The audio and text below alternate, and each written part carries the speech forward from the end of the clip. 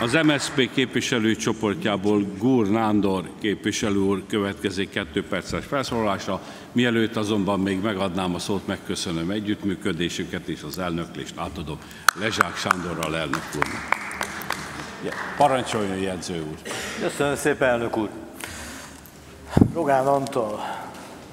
Rogán Antal, aki előszeretette használni a helikoptert, annak idején még nem ezzel foglalkozott, hanem azzal, hogy a gazdasági bizottság keretei között offshore vagy offshore típusú cégek számára lehetőséget biztosítson, hogy betelepítési programot hajtsanak végre Magyarországon. Közel 17 ezer emberről van szó a harmadik világból, legkiváltképp Kínából, de más országokból is.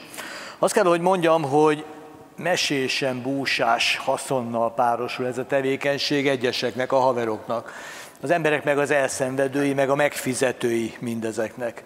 Mert hogy minden hasznot, amelyet a haverok zsebre tesznek, azt a magyar állampolgárok fogják visszafizetni. Miközben nemzetbiztonsági kockázatot, vagy épp akár közbiztonsági kockázatot is életre hívnak, orosz bűnöző és sok mindenki más megtalálja Magyarországot és Európát. Piacról ma egyszerűbb és könnyebb is lenne, és olcsóbb is lenne finanszírozni, mint ahogy ezt teszik a letelepedési kötvényen keresztül. Éppen ebből kifolyólag észszerűtlen is az, amit csinálnak, és megint csak a magyar emberek kárára van. De a lényeg, bestelen, bestelen ez a történet, már csak azért is, mert hogy nem az emberek messze döntő többségének a javát szolgálja, hanem pontosan az emberekkel szemben cselekszik, az emberek érdekét azt a sárba tiporja.